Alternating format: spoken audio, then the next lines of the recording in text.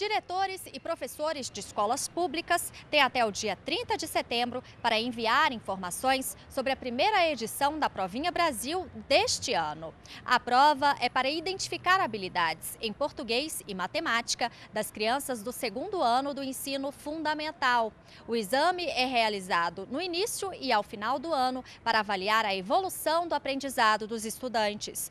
Todos os detalhes estão no site www.provinhabrasil.com inep.gov.br. De Brasília, Priscila Machado.